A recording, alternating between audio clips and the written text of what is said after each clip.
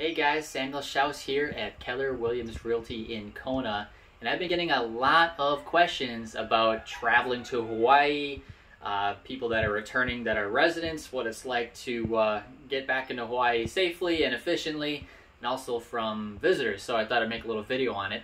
Um, for those of you who don't know me too well, I just came back from a month-long trip in the mainland visiting uh, family, and uh, at one point I was dreading coming back to Hawaii. But what I have learned is it really wasn't as bad as I thought. And it's because I took the time to plan ahead and know what to expect. It does require a little bit of research, but if you just take a few notes with what I'm about to tell you, I can make your trip much more carefree. So, first of all, you need to get a PCR test lined up within 72 hours of you boarding that jet. Ideally, you'd want to get, get it done as soon as possible.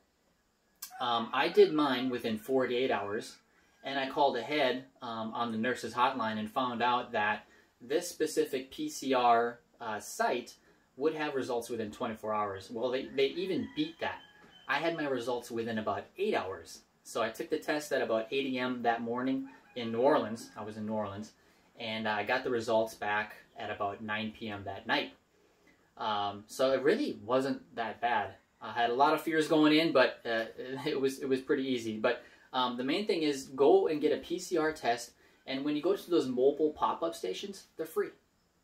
They're completely free, so there's no cost.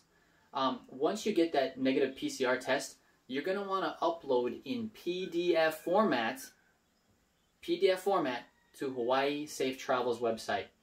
Once you do, it'll go into their automated system You'll fill out an online questionnaire on the Hawaii Safe Travels website.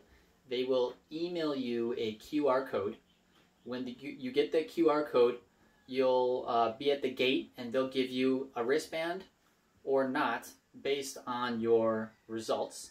So they do have it dialed in uh, as far as efficiency goes. I know where there were a lot of complaints of, uh, initially when they started, um, but um, they have dialed in uh, their practices and procedures for people coming into Hawaii.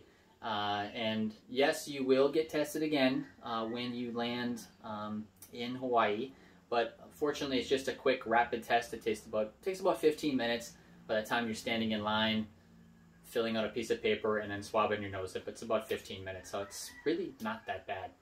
Um, so another positive note is they did change the quarantine from uh, 14 days to 10. So those of you who do have to quarantine, those four days can make a big difference on your sanity. So uh, every little bit helps, right? So that has been my experience. Um, if you want any tips or tricks on that or any deeper explanations on that, I'm happy to reply and, and help you through the process. Um, but uh, um, always here to help you. Samuel Schaus here at Keller Williams Realty in Kona. Give me a call anytime. Aloha.